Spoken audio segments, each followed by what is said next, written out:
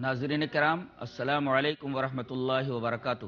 پیس T V Urdu میں آپ سبھی حضرات کا پرتپاک خیر مقدم ہے۔ میں جلال الدین قاسمی آپ سے مخاطب ہوں اور آج کی اس نشست میں میں قرآن حکیم کی ایک سورہ سورہ انعام کی تین آیات، آیت نمبر ایک سو اکیاون، آیت نمبر ایک سو باون اور آیت نمبر ایک سو تریپن ان تین آیات کی تفسیر پیش کرنا چاہتے ہیں۔ سب سے پہلے ان تینوں آیات کی قرات میں آپ کے سامنے پیش کر دوں۔ اعوذ باللہ من الشیطان الرجیم۔ بسم اللہ الرحمن الرحیم۔ قل تعالوا اتل ما حرم ربكم عليكم الا تشركوا به شيئا وبالوالدين احسانا ولا تقتلوا اولادكم من املاق۔ نحن نرزقكم واياهم ولا تقربوا الفواحش ما ظهر منها وما بطن۔ ولا تقتلوا النفس التي حرم الله إلا بالحق. ذلكم وصاكم به لعلكم تعقلون. ولا تقربوا مال اليتيم إلا بالتي هي أحسن حتى يبلغ شده وأوفوا الكيل والميزان بالقسط لا نكلف نفسا إلا أسعها وإذا قلتم فاعدلوا ولو كان ذا قربا وبأحد الله أوفوا. ذلكم وصاكم به لعلكم تذكرون. وأن هذا صراطي مستقيما فاتبعوه ولا تتبعوا السبل فتفرق بكم عن سبيله ذلكم وصاكم به لعلكم تتقون۔ ان تین آیات کی تلاوت کے بعد ان تین آیات کی تفسیر کی طرف آتے ہیں۔ ان تین آیات میں اللہ تبارک و تعالی نے دس احکام بیان فرمائے ہیں۔ بعض سلف یہ کہتے ہیں، یہی احکام عشرہ اور ٹین کمانڈمنٹ تھے جو تورات میں بالتفصیل ذکر کیے گئے تھے۔ اور اللہ تبارک و تعالی نے بڑے ہی اختصار اور بڑے ہی ایجاز کے ساتھ ان تین آیات کے اندر ان دسوں احکام کو بیان فرما دیا ہے۔ اب آئیے سب سے پہلے یہ دیکھیں کہ پہلی آیت کا پہلا لفظ کل ہے۔ کل کا مطلب ہوتا ہے آپ کہہ دیجیے۔ یعنی اللہ یہ فرما رہا ہے اپنے نبی سے کہ آپ کہہ دیجیے۔ یعنی اللہ بھی کہہ رہا ہے اور نبی سے کہلوا بھی رہا ہے۔ پتا یہ چلا کہ بات بہت ہی اہم ہے۔ تبھی تو اللہ خود کہنے کے بعد اپنے نبی سے کہہ رہا ہے، آپ بیان کیجیے۔ اس کے بعد یہ فرمایا گیا، تعالو، تم لوگ آ جاؤ۔ ناظرین کرام، عربی میں آنے کے لیے کئی الفاظ استعمال کیے جاتے ہیں۔ ایک لفظ ہے جا یہ بھی آنے کے معنی میں ہے۔ یعنی ٹو کم، یہ کہاں استعمال ہوتا ہے؟ یہ واقع شدہ امر کے لیے استعمال کیا جاتا ہے کہ وہ کام واقع ہو گیا ہے۔ جیسے وہ آ گیا یعنی کام واقع ہو گیا۔ دوسرا لفظ آنے کے لیے استعمال کیا جاتا ہے اتا اتا کا لفظ ہے کسی چیز کے نتیجے میں آنا۔ ناظرین کرام، اسی وجہ سے عربی میں مکھن کو اتوا کہتے ہیں۔ ظاہر ہے کہ مکھن دودھ کو متھنے کے بعد دودھ کے متھنے کے نتیجے میں آتا ہے۔ اسی وجہ سے اس کو اتوا کہا جاتا ہے۔ ایک لفظ اور بھی ہے۔ ہیتا، یہ بھی آنے کے معنی میں آتا ہے۔ یہ اس وقت استعمال کیا جاتا ہے جب کسی کو زور سے پکار کر بلانا مقصود ہو۔ ہیتا آ جا یہ لفظ بھی قرآن حکیم میں استعمال کیا گیا ہے۔ ایک اور لفظ استعمال کیا جاتا ہے ہلوما آؤ یہ کہاں استعمال ہوتا ہے؟ جب کسی کو بار بار پکارنا ہو۔ آؤ آؤ۔ ہلوما اسی طرح عربی میں تعالو کا لفظ بھی اس وقت استعمال کیا جاتا ہے جب کسی کو بلا کر کے کوئی بہت ہی اہم بات کرنی یا کہنی مقصود ہو۔ یہاں لفظ تعالو استعمال کیا گیا ہے، جس سے یہ پتا چلتا ہے کہ اللہ تبارک و تعالی اپنے نبی سے یہ کہتا ہے کہ تم کہو، آؤ۔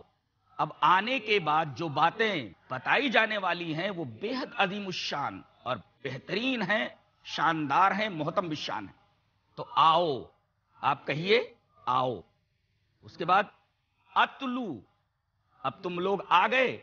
تو اب میں تم کو یہ بتاؤں، ناظرین کرام، عربی میں کہنے کے لیے، پڑھنے کے لیے کئی الفاظ استعمال کیے جاتے ہیں۔ اس میں سے ایک قیرات ہے، پڑھنا، اور ایک ہے تلاوت کرنا، تلا یتلو۔ لیکن پڑھنے اور تلاوت کرنے میں بہت فرق ہے۔ تلا یتلو کا مطلب ہوتا ہے کہ بار بار اس کو دہراتے رہیے، بار بار اس کو پڑھتے رہیے۔ اس کا مطلب ایک مرتبہ آپ قرآن پڑھ لیجیے تو کافی نہیں ہے، بلکہ قرآن حکیم ایسی کتاب ہے جو تلاوت کے لائق ہے یعنی بار بار پڑھے جانے کے لائق ہے۔ تو آئیے میں بار بار تمہیں یہ بتاؤں۔ بار بار تم لوگوں کو یہ بات بتاؤں۔ پہلی بات کیا ہے؟ جو میں بتانا چاہتا ہوں، جو میں کہنا چاہتا ہوں، وہ یہ، ما حرم ربکم علیکم کہ اللہ تبارک و تعالی نے تم پر کیا چیز حرام کر دی ہے؟ تمہارے رب نے تمہارے اوپر کون سی چیز حرام کر دی ہے؟ ناظرین کرام، پہلے حرام کا معنی سمجھ لیں کہ حرام کس کو کہتے ہیں۔ عربی میں حرام کا لفظ المنع الشدید کے معنی میں آتا ہے۔ یعنی جس کام کو سختی سے نہ کرنے کے لیے کہا گیا ہو، سختی سے جس کام سے روکا گیا ہو، اس کام کو حرام کام کہتے ہیں۔ یعنی ہر وہ کام حرام ہے جس کو اللہ تبارک و تعالی نے سختی سے نہ کرنے کے لیے کہا ہے۔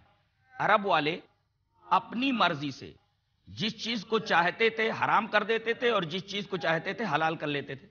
یہاں اللہ تبارک و تعالیٰ نے اپنی ربوبیت کا حوالہ دیتے ہوئے یہ کہا، یہ فرمایا کہ تم کسی چیز کو حرام کر لیتے ہو، تم کسی چیز کو حلال کر لیتے ہو، تمہیں کیا معلوم کہ کس چیز کے اندر تمہارے لیے فائدہ ہے اور کس چیز میں تمہارے لیے نقصان ہے؟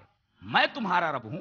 جس طریقے سے ماں باپ جو بچے کے مربی ہوتے ہیں گارجین یہ کبھی نہیں چاہیں گے کہ اپنے بچے کو کوئی مضر چیز استعمال کرنے کے لیے دیں ہمیشہ ان کو وہی چیز کرنے کے لیے کہیں گے یا استعمال کرنے کے لیے دیں گے جو بچے کے حق میں مفید ہو اسی طریقے سے اللہ تبارک و تعالی بھی تمہارے ماں باپ تو مربی ہیں، وہ رب ہے، اس کو معلوم ہے کہ تمہارے لیے کیا چیز نقصان دہ ہے اور کیا چیز فائدہ مند ہے۔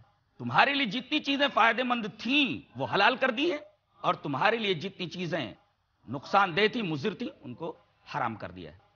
یہ اس کی ربوبیت کا تقاضا تھا۔ اسی وجہ سے یہاں ربوبیت کا حوالہ دیا گیا۔ ما حرم ربکم علیکم۔ تمہیں یہ اختیار نہیں کہ کسی چیز کو حلال کرو اور کسی چیز کو حرام کرو۔ حضرت امام ابی داؤد رحمہ اللہ نے ابو داؤد شریف کے اندر ایک حدیث نقل فرمائی ہے، جو حضرت ابن عباس رضی اللہ تعالیٰ عنہما سے مروی ہے۔ حدیث اس طرح۔ وان ابن عباس رضی اللہ تعالیٰ عنہما قال کان اہل الجاہلیتی یا الجاہلیت یاکلون اشیاء ویترکون اشیاء تقذرا، فبعث اللہ تعالی نبی و انزل نبیہ وانزل کتابہ واحل حلالہ وحرم حرامہ فما احل فهو حلال، وما حرم فهو حرام، وما سکت عنہ فهو عفون رواہ ابو داود فی کتاب الاطعمہ حضرت امام ابی داود اس حدیث پاک کو ایسے کتاب الاطعمہ کے اندر لائے ہیں حضرت عبداللہ ابن عباس رضی اللہ تعالیٰ عنہ فرماتے ہیں کہ جاہلیت کے لوگ کچھ چیزوں کو کھاتے تھے اور کچھ چیزوں کو وہ کراہت کی وجہ سے، طبیعت کی ناپسندیدگی کی وجہ سے چھوڑ دیتے تھے۔ یعنی خود ہی کسی چیز کو حلال کر لیتے تھے اور خود ہی کسی چیز کو حرام کر لیتے تھے۔ تو اللہ تبارک و تعالیٰ نے اپنے نبی کو بھیجا، اپنی کتاب نازل فرمائی اور اس میں جو چیز حلال کی وہ حلال اور جو چیز حرام کی وہ حرام اور جس چیز سے سکوت فرما لیا، اس کو واضح نہیں کیا، اس کو بیان نہیں فرمایا، وہ معفو انہو ہے۔ یہ حدیث پاک بتاتی ہے کہ انسانوں کو کسی چیز کے حلال اور حرام کرنے کا قطان اختیار نہیں۔ حلال اللہ ہی کرے گا، حرام اللہ ہی کرے گا۔ اس سلسلے میں نبی کریم صلی اللہ علیہ وسلم کی ایک حدیث قابل غور ہے۔ ناظرین اکرام یہاں وقت ہو گیا ہے چھوٹے سے بریک کا۔ ہم انشاءاللہ آپ کی خدمت میں جلد ہی حاضر ہوتے ہیں۔ ناظرین کرام، السلام علیکم ورحمۃ اللہ وبرکاتہ۔ احکام اشرا کی تفصیل لے کر ہم آپ کی خدمت میں پھر حاضر ہو رہے ہیں۔ بات یہاں تک پہنچی تھی، حضرت امام ابی داود رحمہ اللہ نے ابو داؤد شریف کے اندر ایک حدیث نقل فرمائی ہے، جو حضرت ابن عباس رضی اللہ تعالیٰ عنہ سے مروی ہے۔ حدیث اس طرح۔ وان ابن عباس رضی اللہ تعالیٰ عنہما قال، کان اہل یا الجاہلیت یاکلون اشیاء ویترکون اشیاء تقذرا فبعث اللہ تعالی نبیہ وانزل کتابہ واحل حلالہ وحرم حرامہ فما احل فهو حلال وما حرم فهو حرام وما سکت عنہ فهو عفو. رواہ ابو داؤد فی کتاب الاطعمہ. حضرت امام ابی داؤد اس حدیث پاک کو ایسے کتاب الاطعمہ کے اندر لائے ہیں، حضرت عبداللہ ابن عباس رضی اللہ تعالیٰ عنہ فرماتے ہیں کہ جاہلیت کے لوگ کچھ چیزوں کو کھاتے تھے اور کچھ چیزوں کو وہ کراہت کی وجہ سے، طبیعت کی ناپسندیدگی کی وجہ سے چھوڑ دیتے تھے۔ اللہ تبارک و تعالی جس چیز کو حرام کر دے، وہی حرام ہے، اور جس چیز کو حلال کر دے، وہی حلال ہے۔ انسان کو یہ اختیار نہیں ہے کہ وہ کسی چیز کو اپنی طرف سے حلال کرے اور کسی چیز کو اپنی طرف سے حرام کرے۔ اس سلسلے میں نبی کریم صلی اللہ علیہ وسلم کی ایک اور حدیث ہم آپ کے سامنے پیش کرنے کی سعادت حاصل کر رہے ہیں۔ حدیث اس طرح وان عدی ابن حاتم رضی اللہ تعالی عنہ قال اتیت النبی صلی اللہ علیہ وسلم وفی عنقی صلیب من ذهب فقال یا عدی اطرح عنك هذا الوثن. وسمعته يقرأ في سورة براءة اتخذوا أحبارهم ورهبانهم أربابا من دون الله. فقال أما إنهم لم يكونوا يعبدونهم ولكنهم كانوا اذا احلوا لهم شيئا استحلوه واذا حرموا عليهم شيئا حرموه. رواه الترمذي في كتاب التفسير. ناظرین کرام، امام ترمیزی رحمہ اللہ اس پوری حدیث کو اپنی حدیث کی کتاب ترمیزی میں کتاب التفسیر کے اندر لائے ہیں۔ راوی، مشہور صحابی حاتم کے بیٹے حضرت عدی رضی اللہ تعالیٰ عنہ ہیں۔ وہ ابھی عیسائی تھے۔ ابھی اسلام انہوں نے قبول نہیں کیا تھا۔ وہ روایت کرتے ہیں کہ میں نبی کریم صلی اللہ علیہ وسلم کی خدمت میں آیا۔ اور جب میں آپ کی خدمت میں پہنچا تو میرے گلے میں سونے کا ایک سلیب لٹکا ہوا تھا۔ نبی کریم صلی اللہ علیہ وسلم نے میرے گلے میں سونے کا وہ سلیب دیکھ کر کے مجھ سے یہ کہا کہ اے ادی اس بت کو اپنے گلے سے نکال پھینک۔ اس کے بعد میں نے یہ سنا کہ آپ سورہ توبہ، سورہ برات کی یہ آیت کریمہ تلاوت کر رہے ہیں۔ اتخذوا احبارهم ورهبانهم اربابا من دون اللہ، کہ ان لوگوں نے اپنے علماء کو اور اپنے پیروں کو اللہ کے علاوہ رب بنا لیا ہے۔ حضرت عدی فرماتے ہیں، میں نے حیرت سے کہا کہ اے اللہ کے رسول، ہم لوگ تو اپنے علماء کی اور اپنے پیروں کی عبادت نہیں کرتے۔ تو اللہ تبارک و تعالی نے یہ کیوں کہا کہ انہوں نے اپنے علماء کو اور اپنے پیروں کو اللہ کے علاوہ رب بنا لیا ہے؟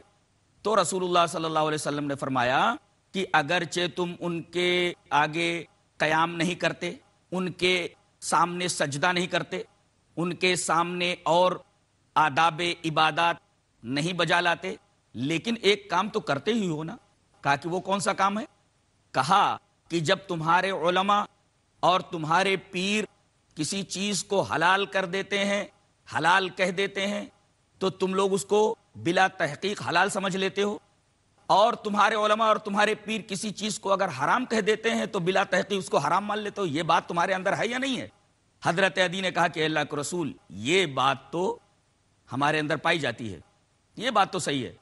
تو اللہ کے رسول صلی اللہ علیہ وسلم نے ارشاد فرمایا، یہی تو ان کو رب بنانا ہے۔ ناظرین کرام، اس حدیث پاک سے یہ بات معلوم ہوئی کہ حلت اور حرمت کا پورا اختیار صرف اور صرف اللہ تبارک و تعالیٰ کو ہے۔ کسی عالم کو، کسی پیر کو کسی فقیر کو، کسی درویش کو قطان یہ حق نہیں پہنچتا کہ وہ کسی چیز کو حلال کرے اور کسی چیز کو حرام کرے۔ یہاں تک کہ نبی کریم صلی اللہ علیہ وسلم کو بھی بغیر اللہ کی اجازت کے کسی چیز کو حلال کرنے کا اور کسی چیز کو حرام کرنے کا اختیار نہیں ہے۔ یہی بات اس آیت کریمہ میں فرمائی گئی ہے۔ اور نبی کریم صلی اللہ علیہ وسلم میں فرما رہے آؤ، میں تمہیں بتاؤں، میں تمہارے اوپر یہ بات پیش کروں کہ تمہارے رب نے تمہارے اوپر کیا چیز حرام کی ہے؟ پہلی چیز جو اللہ تبارک و تعالیٰ نے حرام کی ہے، اس کو بیان فرمایا۔ اللہ تشرکو بھی شیئا، کہ اللہ کے ساتھ تم کسی کو شریک نہ کرو۔ یعنی حرام کردہ چیزوں میں سب سے بڑی جو حرمت کی چیز ہے، سب سے ممنوع چیز جو ہے، وہ شرک ہے۔ اور اللہ تعالیٰ نے اسے حرام قرار دیا ہے۔ اب اگر کوئی اس کو اپنے لیے حلال کر لے تو اللہ تبارک و تعالیٰ اس کے اوپر جنت کو حرام کر دیتا ہے۔ ایک جگہ ارشاد فرمایا، انہو من یشرک باللہ فقد حرم اللہ علیہ الجنہ وما واہ النار وما للظالمین من انصار۔ اللہ کے ساتھ جو بھی شرک کرے گا، اللہ تبارک و تعالی نے اس کے اوپر جنت کو حرام قرار دے دیا ہے۔ ناظرین کرام ایک اہم بات یہ معلوم ہوئی کہ اللہ تعالی نے شرک کو انسانوں کے اوپر حرام قرار دے دیا ہے۔ اب کوئی آدمی اگر اس کو اپنے اوپر حلال کرتا ہے تو در حقیقت اس کا نتیجہ اس کو یہ بھگتنا پڑے گا کہ اللہ اس کے اوپر جنت کو حرام کر دے۔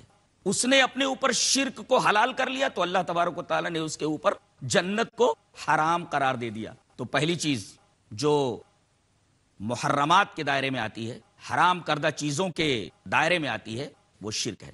اس سے بڑا کوئی گناہ نہیں اور اس سے بڑی ممنوع چیز اور کوئی نہیں دوسری چیز وہ بل والدین احسانہ اللہ تبارک و تعالیٰ نے شرک کے ذکر کے بعد کہ شرک کسی بھی صورت میں جائز نہیں۔ دوسرا حکم یہ بیان فرمایا ہے کہ والدین کے ساتھ احسان کرو۔ اب یہاں ٹھہر کر کے ہم احسان کا مطلب سمجھ لیتے ہیں۔ احسان کس چیز کو کہتے ہیں؟ جواب اس کا یہ ہے کہ احسان ہر چھوٹی بڑی بھلائی کو کہتے ہیں۔ ہر چھوٹی بڑی بھلائی، ہر چھوٹا بڑا خیر ماں باپ کے ساتھ کیجیے۔ اور ناظرین کرام، اگر اس ٹکڑے پر آپ غور کریں تو آپ کو ایک حیرت انگیز چیز نظر آئے گی۔ یہاں والدین کے پہلے لفظ بے لایا گیا ہے۔ وہ بل والدینی والدین کے پہلے بے لایا گیا اور یہ بے مصاحبت کے لیے ہے۔ یعنی اپنے والدین کو اپنے ساتھ رکھو۔ اولڈ ہوم کے اندر لے جا کر کے نہ رکھ دو۔ اپنے سے دور نہ رکھ دو، بلکہ ماں باپ کے ساتھ حسن سلوک اپنے ساتھ رکھ کر کے کرو۔ ہر چھوٹی بڑی بھلائی ان کے ساتھ کرو، مگر مصاحبت کے ساتھ اپنے ساتھ رکھ کر کے۔ یہ دوسرا حکم تھا۔ تیسرا حکم ولا تقتلوا اولادکم من املاق اپنے بچوں کو، بطور خاص اپنی بیٹیوں کو تم محتاجی کے اندیشے سے قتل مت کرو۔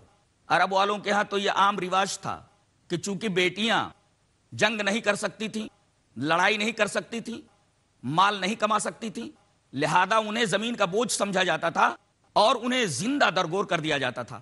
اللہ تبارک و تعالی نے ان کی اس حرکت شنیہ کے اوپر تنقید کرتے ہوئے فرمایا کہ تم اپنی بیٹیوں کو زندہ درگور کیوں کرتے ہو؟ اسی وجہ سے نا کہ یہ تمہارے گھر میں بیٹھ کر کے تمہاری کمائی کھائیں گی اور تم محتاج ہو جاؤ گے؟ ناظرین کرام، املاق کا مطلب محتاجی نہیں ہوتا۔ املاق کا مطلب ہوتا محتاجی کا اندیشہ کہ مال جو موجود ہے وہ کسی کو دینے کی وجہ سے کسی کے اوپر خرچ کرنے کی وجہ سے ختم ہو جائے گا۔ اسی وجہ سے عربی کا محاورہ ہے، ام لقد دہرو، زمانے نے آدمی کے پاس جو مال تھا، اس کے ہاتھ سے مال نکال دیا۔ مال کا ہاتھ سے نکل جانا اس کے اوپر املاق کا اطلاق ہوتا ہے۔ اردو میں اس کا ترجمہ آپ کر لیں، محتاجی کا اندیشہ کہ اگر ہم بیٹیوں کے اوپر خرچ کریں گے تو مال موجود رفتہ رفتہ ختم ہو جائے گا اور ہم محتاج ہو جائیں گے۔ اس محتاجی کے اندیشے سے اپنی اولاد کو خاص طور سے اپنی بچیوں کو قتل مت کرو۔ ناظرین کرام، بڑی حیرت انگیز بات ہے کہ عرب والے تو جاہلیت پسند تھے، جہالت میں ڈوبے ہوئے تھے، وہ بچیوں کو زندہ درگور کرتے تھے۔ لیکن جب وہ پیدا ہو جاتی تھی تب، لیکن آج جس دور کو ہم ترقی یافتہ دور کہتے ہیں کہتے ہیں زمانے نے بڑی ترقی کر لی ہے، لوگ پہلے سے زیادہ ظلم ہو گئے ہیں۔ سائنس بہت زیادہ ترقی کر چکی ہے، لیکن میں یہ کہوں تو بے جانا ہوگا، آج جاہلیت میں ان عربوں سے زیادہ ہم لوگ مبتلا ہیں۔ وہ بچیاں پیدا ہو جاتی تھی، تب درگور کرتے تھے اور ہم لوگ بچی پیٹ میں ہوتی ہے، تبھی اس کو مارنے کا پلان کرتے رہتے اور اس کو مار دیتے۔ حکم دیا گیا، ولا اولادکم من املاق محتاجی کے اندیشے سے اپنی اولاد کو قتل مت کرو، خاص طور سے اپنی بیٹیوں کو۔ اور یہ اتنا بڑا گناہ ہے، ناظرین کرام، ایک حدیث کے تناظر میں اس گناہ کا جائزہ لیتے ہیں۔ حدیث حدیث اس طرح۔ وان عبد اللہ رضی اللہ تعالیٰ عنہ قال سالت النبی صلی اللہ علیہ وسلم ایو الزنب اعظم عند اللہ؟ قال، ان تجعل للہ ندا وهو خلقك قلت، ان ذلك العظیم. قلت ثم ایو قال وان تقتل ولدك تخاف ان يطعم معك. قلت ثم أي قال ان تزانی حلیلت جارک رواہ البخاری فی کتاب التفسیر حضرت امام بخاری رحمۃ اللہ علیہ اس حدیث پاک کو ایسے کتاب التفسیر کے دل لائیں ترجمہ اس حدیث پاک کا کیا ہے؟ حضرت عبداللہ۔ ناظرین اکرام، جب بھی عبداللہ کا لفظ بولا جائے اور آگے ابنیت نہ ہو تو اس سے عبداللہ ابن مسعود مراد ہوتے ہیں۔ تو حضرت عبداللہ ابن مسعود فرماتے ہیں کہ میں آیا اور میں نے نبی کریم صلی اللہ علیہ وسلم سے پوچھا کہ اے اللہ کے رسول، یہ بتائیے کہ سب سے بڑا گناہ کیا ہے؟ آپ نے فرمایا کہ تو اللہ کے ساتھ کسی کو شریک ٹھہرائے، جبکہ اللہ تبارک و تعالیٰ تیرا خالق ہے۔ پھر میں نے کہا، یہ تو بڑی عجیب بات ہے، یہ تو بڑی عظیم چیز ہے۔ پھر میں نے یہ پوچھا کہ اے اللہ کے رسول، شرک کے بعد سب سے بڑا گناہ کیا؟ تو آپ نے فرمایا وہ ان تک کا تخاف شرک کے بعد سب سے بڑا گناہ یہ ہے کہ تو اپنی اولاد کو خاص طور سے اپنی بیٹی کو اس خوف سے قتل کر دیتے ہو تیرے ساتھ کھائے گی۔ پھر میں نے آپ صلی اللہ علیہ وسلم سے پوچھا کہ اللہ کے رسول تیسرے نمبر پہ سب سے بڑا گناہ کون سا ہے؟ تو آپ نے فرمایا کہ اپنی پڑوسن کے ساتھ یا اپنے پڑوسی کی بیوی کے ساتھ بدکاری کرنا زنا ویسے ہی حرام ہے، لیکن اس کی قباحت، اس کی شناخت دو چند ہو جاتی ہے۔ جب آدمی زنا اپنے پڑوسی کی بیوی کے ساتھ کرے۔ ناظرین کرام، آپ نے دیکھا کہ شرک کے بعد سب سے بڑا گناہ اس حدیث پاک میں رسول اللہ صلی اللہ علیہ وسلم نے یہ بتایا ہے کہ محتاجی کے خوف سے کہ تیرے ساتھ کھائے گی تیری اولاد، اس وجہ سے اس کو قتل کر دینا۔ دوسرے نمبر پہ شرک کے بعد یہ گناہ ہے۔ ناظرین اکرام یہاں ہم آپ سے رخصت ہوتے ہیں۔ انشاءاللہ دوسرے ایپیسوڈ میں آپ حضرات کے پاس حاضر ہوتے ہیں۔ السلام علیکم ورحمۃ اللہ وبرکاتہ۔